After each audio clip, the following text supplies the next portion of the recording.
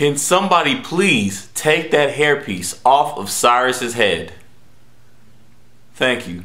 Scandal! We kick off Scandal with Jake and Olivia in the park running. They, they're a fit couple. They're a fit couple. Um, that's good. They're running. They're talking about with their arrangement. He got him a new place. She's like, you don't need to go nowhere. This is my thing. If I'm Jake, I'm staying with Olivia. I'm saving all of my money. We can stay there with her and eat popcorn and wine because that's it's all she has in her house. Do, you, do y'all ever notice that? It's only wine and popcorn in the house, man. Like, is that low carb? Or like, how, how does your mind stay sharp with that type of diet? But anyway, we end up cutting to Cyrus, who's wearing a David Hasselhoff hairpiece. He asks Olivia for a favor. She flies out to go see this um, famous couple whose relationship signifies gun control because the wife got paralyzed for like being a very strong heroine when there was a school shooting, you know, which is a very admirable thing. Before I say anything else, I just want to I just want to be real, okay? There is nothing funny about getting shot in the spine and being paralyzed, okay? This is only TV show, y'all, okay?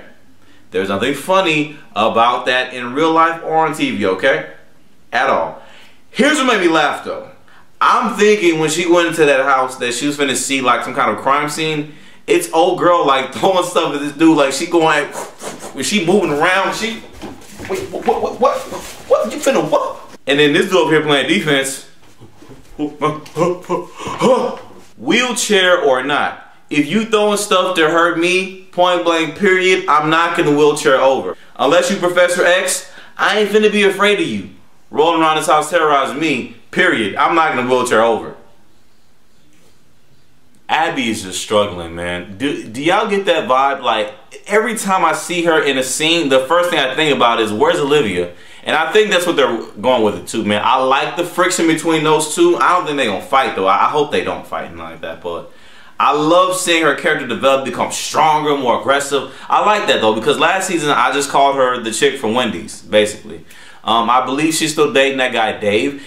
Dave is my guy too, man. This boy up here, you know, they he was about to be knocked out of this race, man, but he fought back and got in and stayed with it, man. Gladiator style. That's good. Good for David. AKA, where's Waldo? Because the where's Waldo glasses. Hey, hashtag where's Waldo for David, man. Can we get that going, y'all? Where's look at them glasses though, man. Like, where's Waldo? That's my guy. Where's Waldo and Wendy?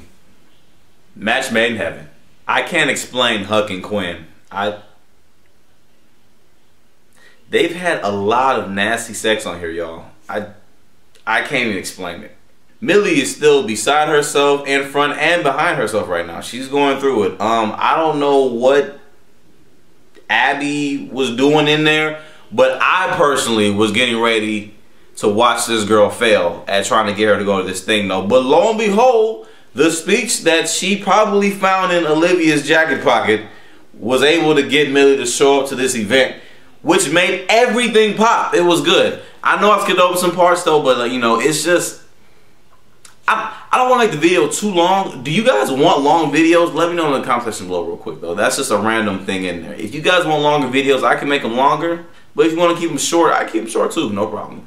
Olivia went over to this man's house in nothing but some trench coats and boots. Dog. When I seen them go at it, I was like, oh my goodness, wait a minute. It's about, whoo, hold up. And then they went to Cyrus's love scene. I'm not homophobic at all. It's just, um, with my last 60 seconds of Scandal, I'm used to seeing, you know, Scandal. I don't want to see him with no shirt on. And Lord, let us please continue to pray for Mellie Fitz as she continues to go through bereavement and going through her healing process. Amen. I have go ahead. Uh, I've already started the petition to go ahead and send a fish plate every day to her house in honor of her mourning her son. She she needs to eat y'all. Um, fried chicken is good though, but you got you gotta balance it out, man. I love chicken myself though, but throwing some fish in there, little tilapia, ain't gonna hurt nobody. It's good for your mind. Let's go start the petition up right now. Um, yeah, I'm gonna be real. This episode was kind of, it was cool, but then it, not really. Like, I don't know. It was good though. What do you guys think? Uh, one of my uh, subscribers put in the last video that they felt the premiere was kind of lackluster. Did you guys feel this video, this episode was like lackluster? Do you feel it gave you everything you needed? Or are you already watching How to Get Away with Murder? You kind of like whatever. By the way, too, I watched that show. Pretty good show. Would y'all want me to review that show? Because I, I, watched it. It's pretty cool too. You know, Shonda Rhimes is pretty good writer. If you like me to review that show, let me know in the comment section below. If I can get enough people that say, hey, yeah, we love to see it, I will definitely review it. But as far as scandal goes, that's pretty much it. My name is Chinedu, C-H-I-N-E-D-U, and this is PSA Radio. Please do me a favor and please click that like button and the share button.